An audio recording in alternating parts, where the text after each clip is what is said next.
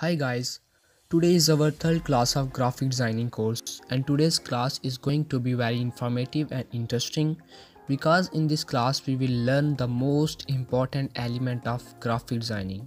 I hope you are trying to understand this course well and make notes. In today's class we will learn the rest elements of graphic designing. In the previous class we had learned the first four elements whereas in today's class we will learn color space value and texture. So let's start friends.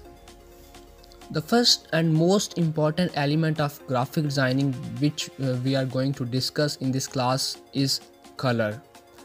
Friends color is one of the most important and useful element of graphic designing. Color is basically sensation of light. Here you can see color wheel which was invented by Isaac Newton in 1706. And interestingly you can see here that there are no black, white and grey colors. This is because black, white and grey are called neutral colors or earth tones.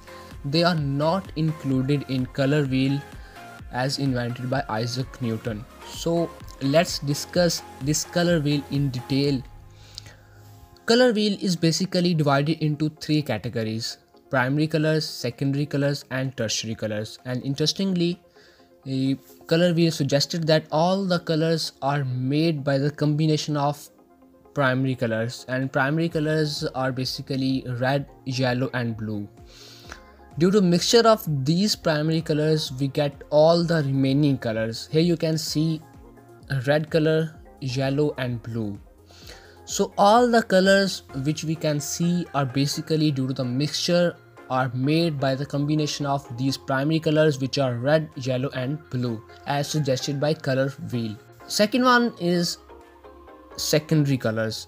As i have told you that all the colors are made by the combination of primary colors. Secondary colors are those colors which are formed by the combination of any two primary colors. Secondary colors are green, purple and orange. If we mix red and yellow, the orange color is obtained. Similarly, if we mix blue and yellow, green color is obtained. And when we mix red and blue, purple color is obtained. So secondary colors are formed by the combination of any two primary colors. Next one is tertiary colors. Tertiary colors are basically those colors which are formed by the combination of primary and secondary colors. First, we have discussed that uh, secondary colors are obtained by the combination of any two primary colors and now tertiary colors are those colors which are obtained by the combination of primary and secondary colors. For example, when we mix yellow which is primary color and uh, orange which is secondary color tertiary color is obtained which is yellow orange. Similarly if we mix red and orange red orange color is obtained. And uh, here you can see a table of tertiary colors. So these are the tertiary colors which are obtained by the combination of primary and secondary colors. These are the three categories of color wheel. And if we discuss about the types of colors so there are basically two types of colors warm colors and cool colors First of all, warm colors. As uh, the name shows, warm, heat. So, warm colors are those which have warm origin, such as fire, sunlight, etc. And warm colors are uh, red, yellow, and orange. If we cut color wheel into two portions the left sided portion of color wheel is consists of uh, warm origin and uh, this is called warm colors for example here you can see red violet which is tertiary color is a warm color. Red which is a primary color is a warm color. Red orange which is tertiary color is again warm. Orange which is secondary is warm color. Yellow orange which is tertiary the warm color is yellow. Primary which is a uh, uh, primary color is also belongs to the warm color origin or warm color type. So the blue colors are cool colors are those uh, which are uh, basically have cool origin. For example those colors uh, which uh, represent uh, coolest origin such as leaves water etc and uh, mm, cool colors are blue green and purple. The right side of the color wheel is basically consist of cool colors uh, violet which is secondary color is a cool color. Blue violet which is tertiary color is also a cool color. Similarly blue which is a primary color is a cool color. And here you can see a complete chart of uh, colors which are belonging to warm origin or cool origin. Next this is one of the most important slide of uh, this class specifically. This is basically color expressions and this suggested that which color is used for which purpose? For example red color and as i have told you previously that red color belongs to warm origin.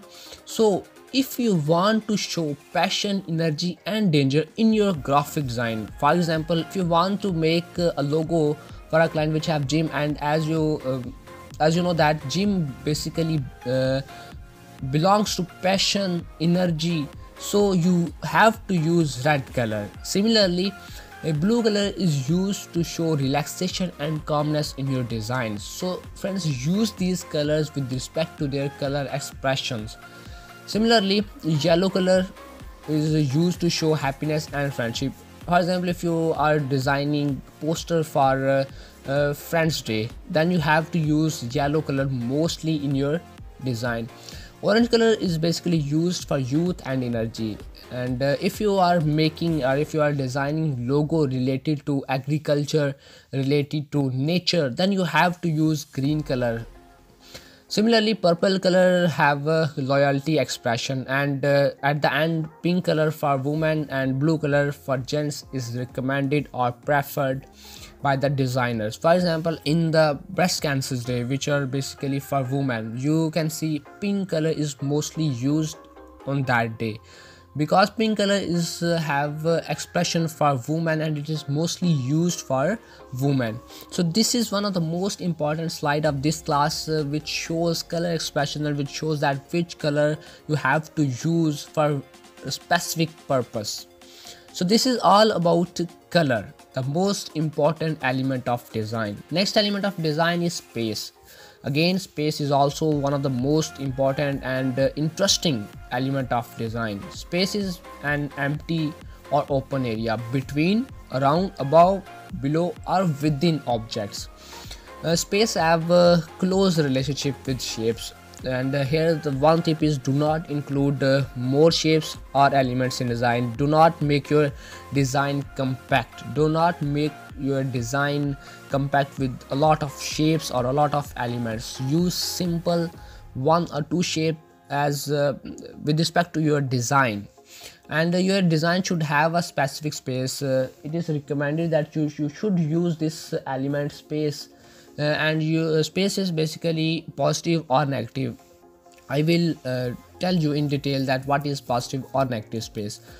And again space may be 2d or 3d two dimensional or three dimensional so what is positive space and negative space? Basically positive space uh, refers to areas where the subject is positioned. And negative space is the area surrounding the subject.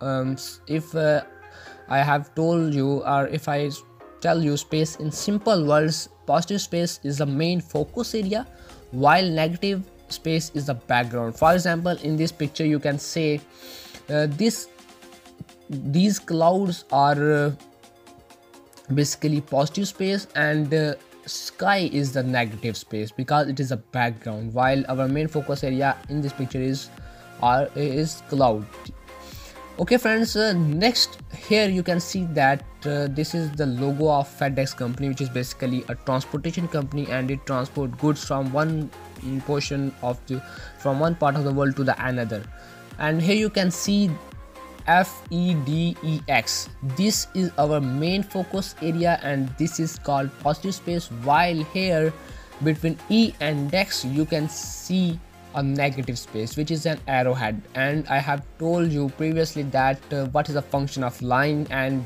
uh, arrowhead. So line and arrowhead basically used for directional purposes. And uh, here you can see that this uh, logo uh, the logo which is designed by designers used this negative space to show that this company is related to or transporting goods from one place of the world to another. Moreover here you can see different portraits uh, if you see that if you uh, look that there are two faces then these two faces are basically positive space and here the white area which is a background in this portrait specifically it is a negative space. And if uh, you can say here it is a black color and it is uh, you uh, see that uh, this is a vase then these white faces are basically negative space and black is positive space. So friends this is the element of first design which is space and it is a useful element and you have to use space for making your designs interesting. Next element of design is value. Value is basically lightness or darkness of any object any shape any area or any color. Value may be related to objects area shape or any color.